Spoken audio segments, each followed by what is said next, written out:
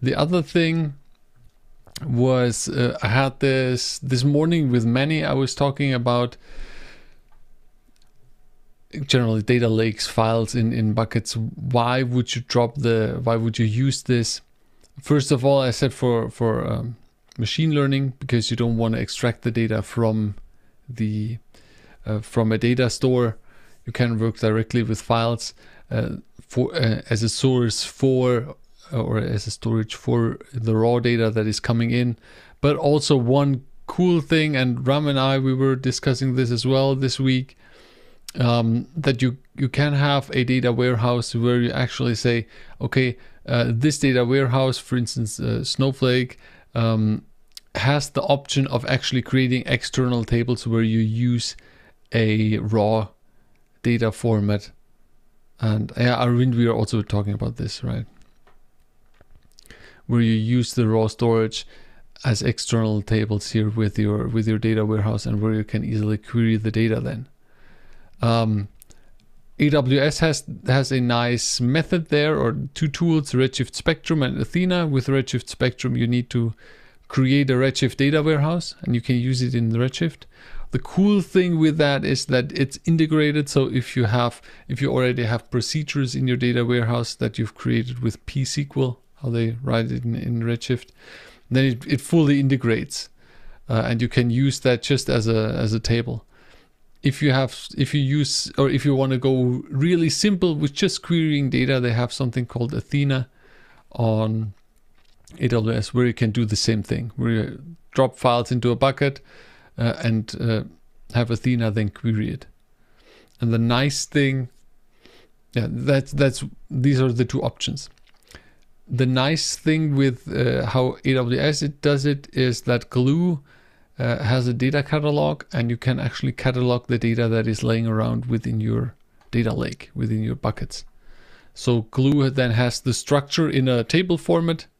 That when you need to think of it like you have a CSV file here, then Glue would create creates tables and we create a table for that C, for the for those CSV files or for these files in that folder and then has the the column names and has the structures uh, has the data types.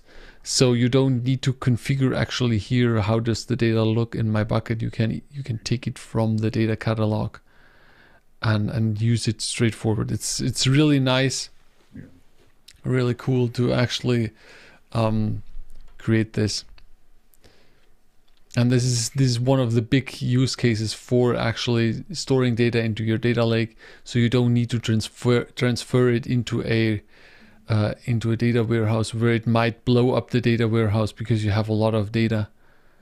So mm-hmm. you keep the data warehouse small but you are still able from the warehouse to query the data that lays around in your sure. in your uh, in your yeah in your data lake. It's it's you find that everywhere. Uh, with Arvind, I was talking yesterday about uh, BigQuery. BigQuery has the same thing where you can uh, we, data catalog. I didn't see, but uh, generally that you can actually query data from a data lake, uh, and in, in mm-hmm. GCP it's also called buckets. So that's also possible. I added here if you want to do this at some point.